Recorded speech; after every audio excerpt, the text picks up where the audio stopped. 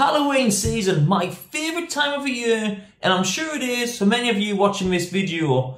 So this is going to be my 31 Nights of Horror series, where every day throughout the month of October, I'll be telling you one movie to check out over the spooky season.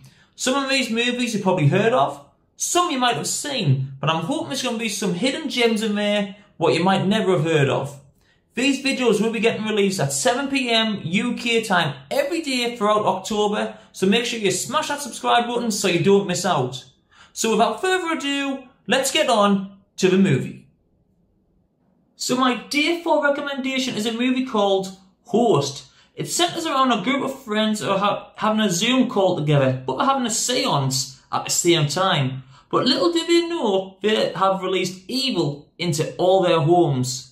The only downside of this movie is that it's only one hour long, but it's highly entertaining at 60 minutes. Pretty creepy as well, which I loved. So yeah, if you've checked Host out, or if you're going to, let me know your thoughts about this movie in the comment box. And yeah, subscribe to the channel, and I'll see you guys tomorrow.